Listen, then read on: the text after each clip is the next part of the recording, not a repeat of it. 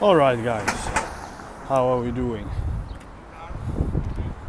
So, I ran almost all the way out to the ocean. I didn't run the whole way, but I walked a lot. My legs are hurting so much. Um, so yeah, I'm gonna check out the ocean, the beach, and I woke up so early this morning. I woke up at 6:30. yeah, it's pretty early. And then now I've been out maybe approximately like an hour, I guess. So yeah, let me show you around. The beach is a little bit further away. Maybe it's possible to see it through there actually. Yeah.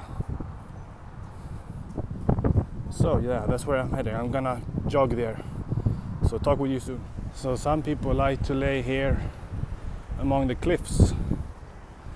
And here's old fort, pretty cool, with a cannon up here.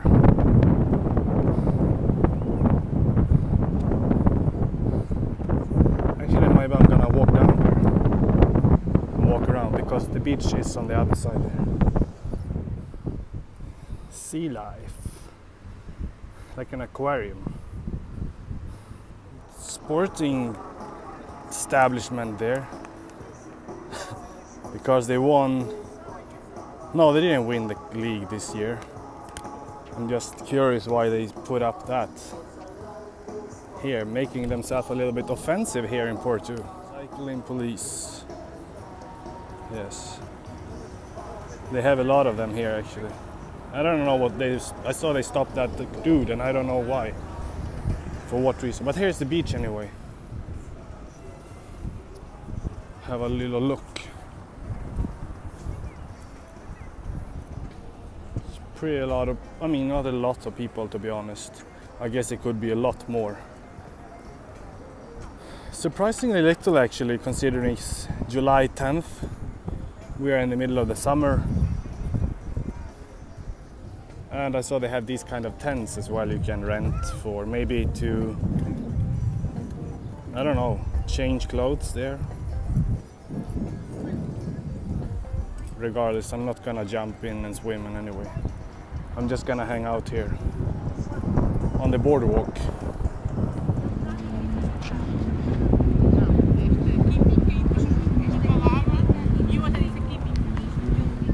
Oh my fucking god, I just have to say this. You know, there's always, and I mean almost always, something when you're gonna buy something simple like some water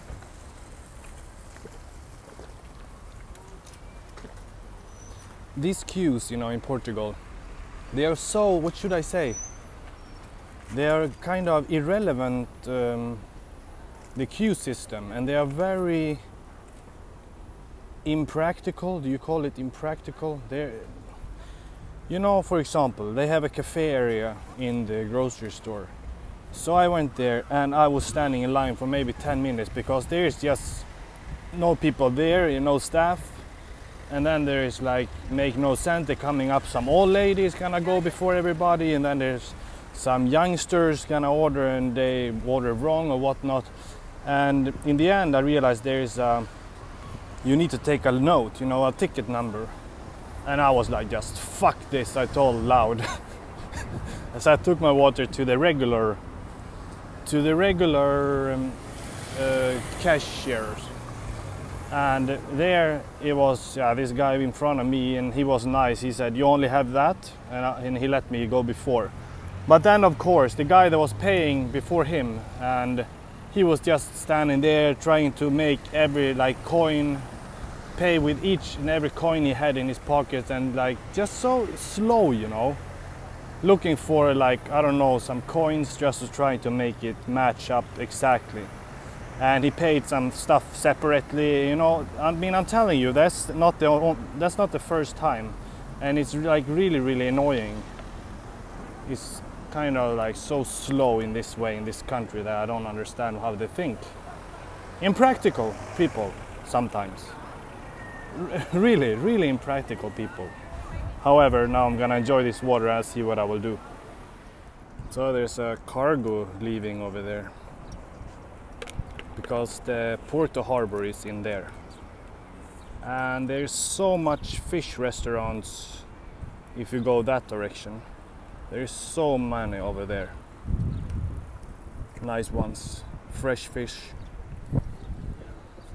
Oh, I like this place so much. I'm gonna hang out here now. Probably not at the beach, but on the boardwalk.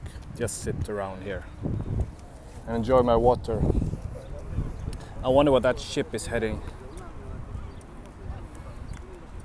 Maybe to cross the Atlantic Ocean, possibly, or maybe it takes going to Asia or somewhere else in Europe. I mean, I don't know.